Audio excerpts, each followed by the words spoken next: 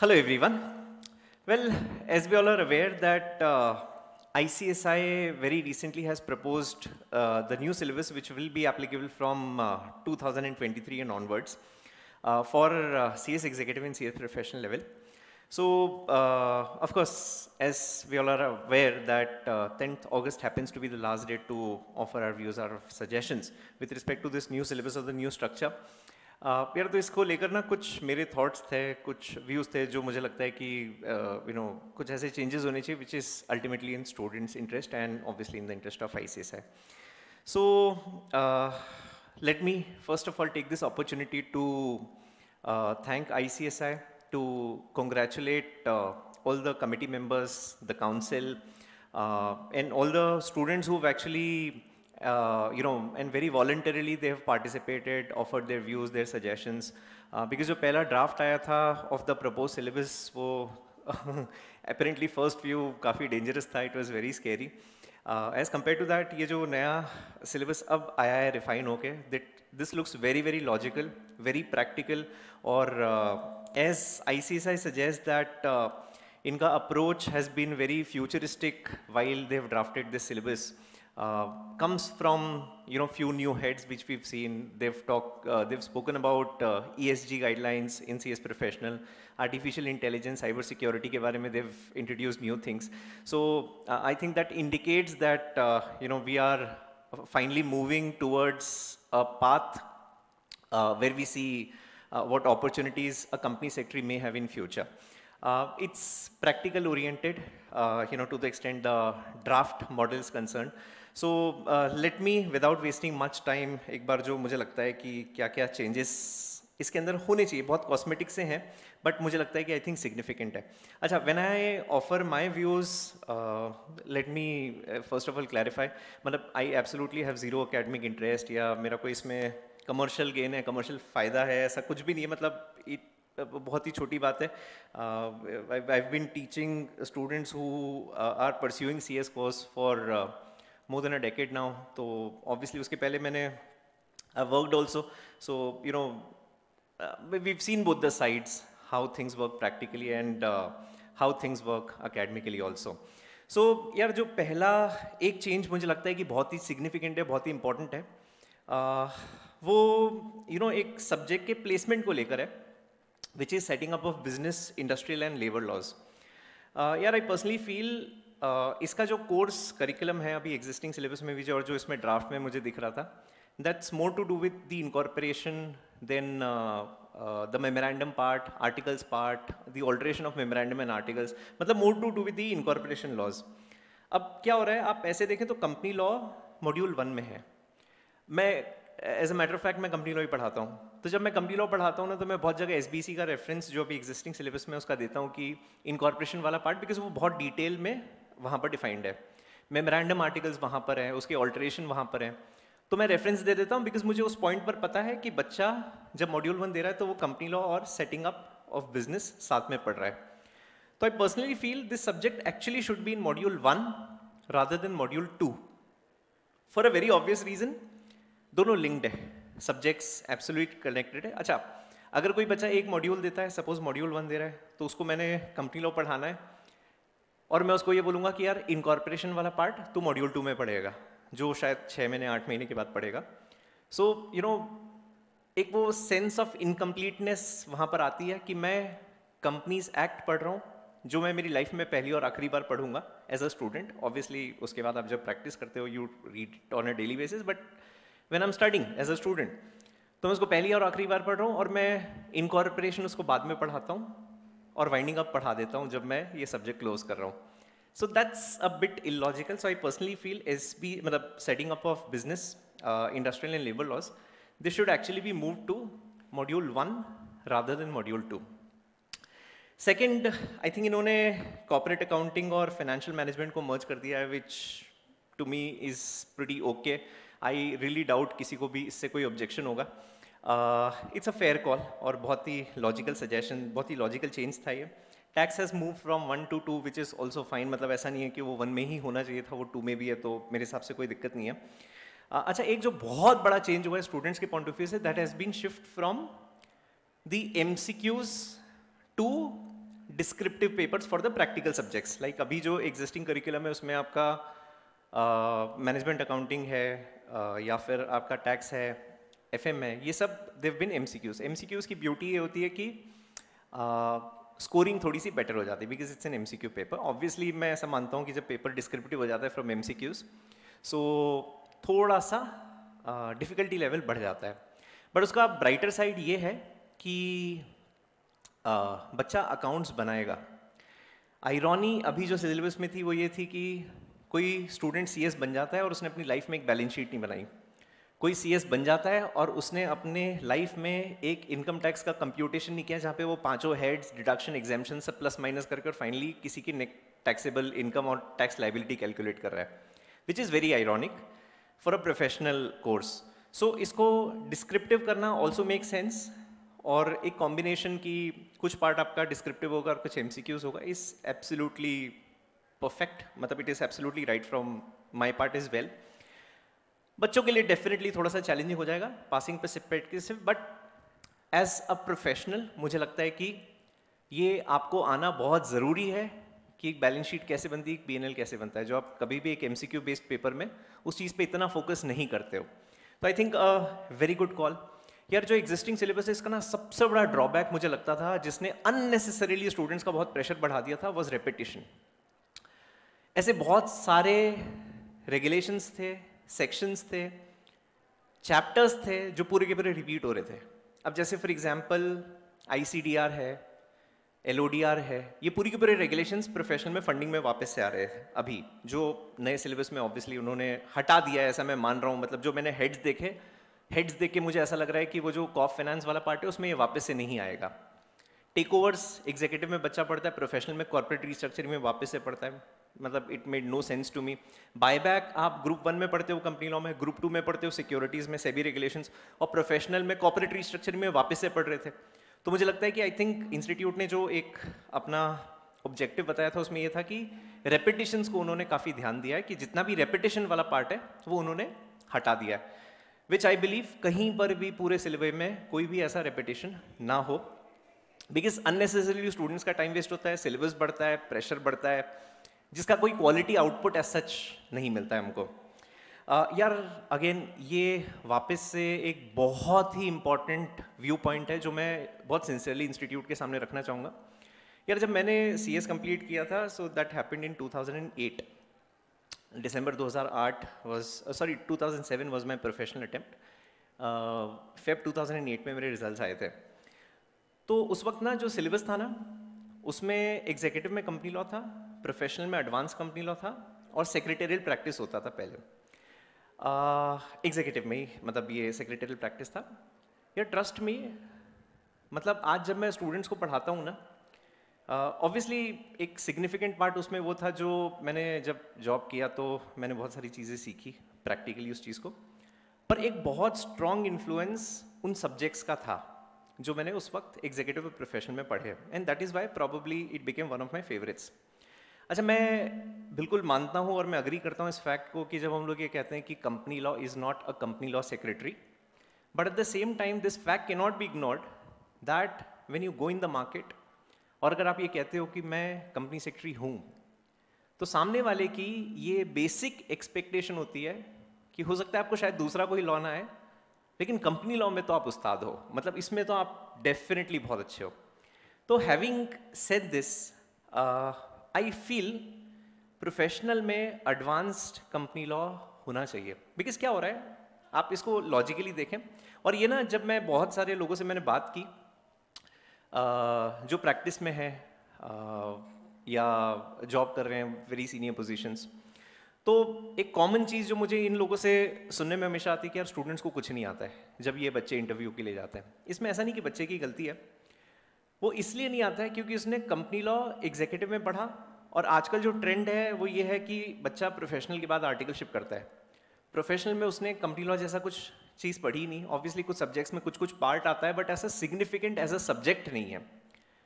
Drafting उसने की ही नहीं। रेजोल्यूशंस आप इंस्टीट्यूट का मॉड्यूल देखेंगे तो उसमें दस रेजोल्यूशंस हैं गिन के, जिसके बेसिस पे आप ये एक्सपेक्ट नहीं कर सकते हो कि उसको एक्चुअली में रेजोल्यूशन ड्राफ्टिंग बहुत अच्छे से आ जाएगी which actually is a short pit professional में ड्राफ्टिंग सब्जेक्ट है, लेकिन उसमें रेजोल्यूशन ड्राफ्टिंग ही नहीं है, पूरे मॉड्यूल में नहीं है।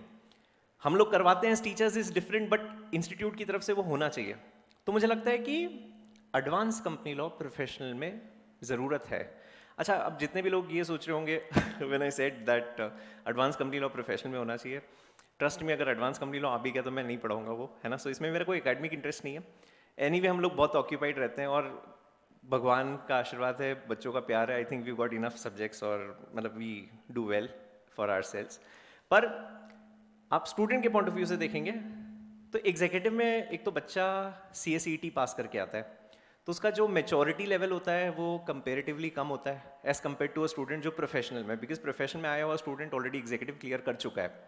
तो उसकी maturity sense of understanding is much much better as compared to when he is reading the same subject at executive having said that मैं नहीं बोल रहा हूँ कि एग्जीक्यूटिव से कंपनी लो हटा दो ऑब्वियसली बहुत इंपॉर्टेंट है वो। बट प्रोफेशनल में ये होना चाहिए और ड्राफ्टिंग के ऊपर फोकस बढ़ाना चाहिए इंस्टीट्यूट को। वेन आई से ड्राफ्टिंग मतलब मैं प्योर सेक्रेटेरियल ड्राफ्टिंग की बात कर रहा हूँ। अभी ड्राफ्टिंग सब्जेक्ट जो है प्रोफेशनल में, उसमें एक चैप्टर है सेक्रेटेरियल प्रैक्टिस जिसमें again S S one S S two बहुत डिटेल में दिया हुआ है। जो कंपनी लॉ के कुछ इंपॉर्टेंट ड्राफ्ट्स हैं from board meeting perspective general meeting perspective वो भी उसके अंदर हैं। पर रेजोल्यूशन ड्राफ्टिंग अनफॉर्चुनेटली नहीं है। हम लोग पढ़ाते ज़रूर है ऑल नहीं है, लेकिन फिर भी हम लोग पढ़ाते हैं। पर आई थिंक एक सिग्निफिकेंट पार्ट ड्राफ्टिंग का होना चाहिए। मैं ऐसा मानता हूँ कि इन्होंने जो यहाँ पर एग्जीक्यूटिव का सिलेबस बताया है, इसमें आप देखो कंपनी लॉ एंड प्रैक्टिस कह रहे हैं। So when they're saying practice मतलब उसमें ड्राफ्टिंग इंक्लूड करेंगे। पर अगर उसमें आपने हर चीज़ की ड्राफ्टिंग डाल दी ना तो सब्जेक्ट इतना लेंदी हो जाएगा कि 100 मार्क्स के लिए शायद वो बहुत ज़्यादा है। Because I anyway feel मतलब company law as a subject for hundred marks is too much it should be two hundred marks subject तो या तो उसको पार्ट वन पार्ट टू में स्प्लिट कर दिया जाए या फिर प्रोफेशनल में एडवांस कंपनी लॉ बनाए जिसमें आपने uh, थोड़ा सा uh, क्या बोलते हैं प्रोसीजरल एस्पेक्ट्स पर फोकस किया है जो पहले था ओल्ड सिलेबस में मतलब इसके पहले जो सिलेबस था उसमें था and at the same time उसमें ड्राफ्टिंग भी आ जाए सो दैट बच्चा जब प्रोफेशनल क्लियर करेगा अपनी आर्टिकलशिप के लिए जाता है he is fundamentally very very strong with that particular subject तो that's some that is something which I strongly recommend to ICSI that this should be taken into consideration. Uh, थोड़ा सा resolution drafting वाला part बढ़ाना चाहिए because वो बहुत ज़्यादा important है और हर बच्चा जब आर्टिकलशिप करने जाता है मैं ऐसा मानता हूँ कि one of the first things जो उसके बॉसेस एक्सपेक्ट करते हैं is basic level of drafting जो अनफॉर्चुनेटली इसके अंदर नहीं है और ये आई एम श्योर अगर हमारे प्रेसिडेंट हमारे प्रेसिडेंट या फिर काउंसिल अगर ये वीडियो देख रही है इस पॉइंट पर they will absolutely agree because even they would be recruiting lot of articles तो जब वो पहली बार आर्टिकलशिप करने आता है तो बच्चे बॉसेस का रिएक्शन यही होता है हमेशा, यार, इसको कुछ आता ही नहीं है. तो आई थिंक वो थोड़ा सा अकेडमिकली इसके अंदर इंक्लूड ज़रूर करना चाहिए। That is one part which is missing advance company law मैंने अभी जस्ट बताया। यार अगेन एक बहुत बड़ा गैप जो मुझे लगता है ना वो ये है कि C S C T extremely simple हर बच्चा पास हो जाता है। एकदम से एग्जीक्यूटिव आता है और लेवल इतना बढ़ जाता है कि वो कोप अप ही नहीं कर पाता है। एग्जीक्यूटिव आज भी मैं ऐसा मानता हूँ कि it is five times more difficult than professional for two reasons पहला एग्जीक्यूटिव का ओवरऑल कोर्स करिकुलम बहुत हैवी है एज कंपेयर टू प्रोफेशनल और दूसरा एग्जीक्यूटिव में आया हुआ बच्चा या तो ई e पास करके आया है या फिर ग्रेजुएशन कंप्लीट करके आया है। और दोनों केसेस में मेचोरिटी का प्रॉब्लम आता है। जबकि प्रोफेशनल में जो स्टूडेंट है, वो एग्जीक्यूटिव क्लियर करके प्रोफेशनल में आया। तो ऑब्वियसली उसका maturity level is much much better I feel executive even if it has six subjects three in module one three in module two it's absolutely fine it's good for him at that level सातवां subject professional में कर देना चाहिए। अगर आप professional में एक subject बढ़ा भी देते हो मतलब मैं ये नहीं बोल रहा हूँ कि आप सात के आठ सब्जेक्ट्स कर दें।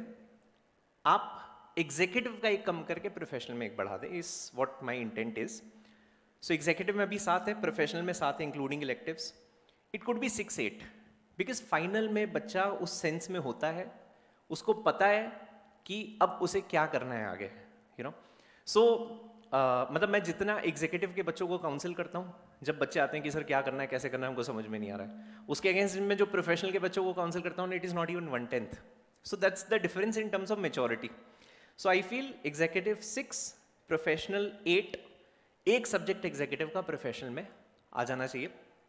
ऐसा मेरा मानना है। uh, कौन सा सब्जेक्ट आ सकता है? प्रॉब्ली लेबर वाला part because anyway professional में लेबर लॉस बच्चा वापस से पढ़ रहा है है ना? सो so वो आपने इलेक्टिव में डाला हुआ है। सो so, लेबर वाला part is repetition so that can be shifted here और इकोनॉमिक लॉस वाला कुछ पार्ट अगर हो सके तो वो भी प्रोफेशनल में आ सकता है। मतलब I don't see that as a challenge ऐसा कुछ नहीं है कि जो बच्चे एग्जीक्यूटिव के बाद आर्टिकलशिप करते हैं उनको इकोनॉमिक लॉस बहुत ही सिंसियर लेवल पे लगता है। और पर्टिकुलरली uh, जैसे अगर आप फॉरेन लॉस की भी बात करें तो मुझे लगता है कि फेमा है एफटीपी है ये रेगुलेशन ऐसे हैं this requires good amount of maturity to even understand so even if the subjects are at professional level it's fine because बच्चा मेच्योर्ड होता है प्रोफेशनल में as compared to executive so so यार, ये एक और मुझे लगता है कि एक लाइकली चेंज इंस्टीट्यूट को प्रॉब्ली करना चाहिए। Drafting like I said you know as a subject उसके अंदर कमर्शियल ड्राफ्टिंग बहुत है लाइक साठ, सत्तर कमर्शियल ड्राफ्ट दिए हुए हैं बट सेक्रेटरी ड्राफ्टिंग नहीं है, बहुत ही कम है। तो अगर उस सब्जेक्ट का थोड़ा सा करिकुलम जो मुझे इसका जो उन्होंने सिलेबस दिखाया है इस शीट में, इस डॉक्यूमेंट में, वो मुझे वापस से थोड़ा सा कम लग रहा था। So I felt commercial drafting अगर आप थोड़ा कम भी कर दें, कि आउट ऑफ़ सेवेंटी अगर आपने फोर्टी ड्राफ्ट रखे थर्टी कम कर दिए। और आपने उसकी जगह सेक्रेटेरियल ड्राफ्ट थोड़े से बढ़ा दिए। I think that will add that will help students a lot so that's one change I feel should be done at professional level as well बाकी मतलब मैं absolute regards and absolute congratulation to the entire community of people who've actually given their time, who've given their heart and soul in drafting the syllabus. It is wonderful to me. एक concern जो कुछ बच्चों का मुझे आया with respect to tax यार be very honest I know a lot of company secretaries in Pune in Mumbai and मैं ऐसा मानता हूँ कि ये दोनों सिटीज़ भारत की top five cities में है the extent uh, the number of company secretaries are concerned in a particular city, opportunities, corporates, job, practice from every angle. I know good number of people here, uh, friends हैं, students अब तो बहुत सारे हैं.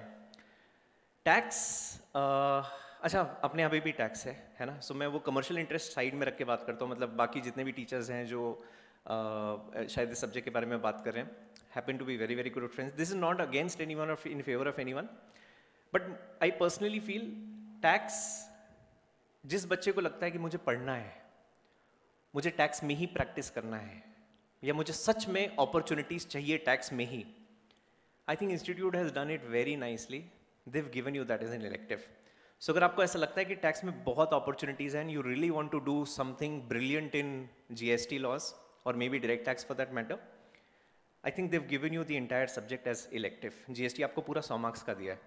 सो so, आपको लगता है अगर प्रैक्टिस की अपॉर्चुनिटी है please opt for it you know to make it a compulsory subject पता नहीं my I feel it's way too much आप अभी भी प्रोफेशनल के बच्चों का अगर आप कंडीशन देखेंगे टैक्स पढ़ने के लिए उनको 250-300 घंटे लगते हैं। उसमें उनके प्रोफेशनल के तीन सब्जेक्ट्स हो जाते हैं। Uh, तो पासिंग के पॉइंट ऑफ़ व्यू से भी it is making sense to me and honestly जिसे लगता है कि अपॉर्चुनिटीज़ हैं कि मुझे टैक्स में ही जाना है आप इसको डेफिनेटली ऑप्ट कर सकते हैं। So I think it has been taken care of very very nicely that syllabus से हटाया भी नहीं है। और जिसको लगता है पढ़ना है मुझे, आप पढ़ो। जिसको लगता है कि नहीं यार, बहुत ज़्यादा हो जाएगा tax I want to get into the laws side and not the tax laws side I think it's a brilliant call so मतलब I am completely in for this मेरे हिसाब से it is very rational and very logical and मतलब I be honest with you of all the people I know who are in this profession जो practice कर रहे हैं if I know hundred people there are two जो tax में practice करते हैं। अब शायद कोई इस सेंटेंस का ये मतलब ले ले कि क्योंकि दो ही करते हैं, इसलिए उसमें स्कोप ज़्यादा है अपॉर्चुनिटी ज़्यादा है। उसमें बाकी प्रोफेशंस भी हैं आपकी कंपटीशन में। सीए है, जो बहुत स्ट्रॉन्ग एजेंट का हमेशा से एक डोमिनेटिंग एरिया रहा है। तो मैं कंपेयर नहीं कर रहा हूँ I don't want to get in that politics जहाँ पे मैं किसी सब्जेक्ट को फेवर कर रहा हूँ किसी के अगेंस्ट में हूँ uh, मैं सिर्फ़ वही बात कर रहा हूँ जो मुझे पर्सनली लगता है कि बहुत ही logical and what make sense so अगर ऑनेस्टली अपने को ऐसा लगता है कि इसमें अच्छी अपॉर्चुनिटीज़ है I think you should opt for it जिन्हें ऐसा लगता है कि बहुत ज़्यादा है too much to study as a company secretary don't opt for it. Simple. But institute, I think they've done their part really well to the extent the subject is concerned. So yeah, मतलब uh, मेरे कुछ remarks हैं मैं पूरी कोशिश करूँगा कि I take this video to the council members and I am sure they'll be kind enough to give it some time and hear it properly and definitely take into consideration because when I say anything here I have taken into consideration the aspects which CS in practice or a CS in employment would expect from a candidate. And at the same time, students perspective भी मैंने थोड़ा ध्यान में रखते हुए कि उसे actually में क्या आना चाहिए बहुत अच्छे से। वो दोनों एंगल सोच के and I have just recorded this video so thank you so much everyone for giving your time for your for your precious time and yeah I hope that जो भी चेंजेस इसके बाद आई लाता है that is in every interest thank you so much once again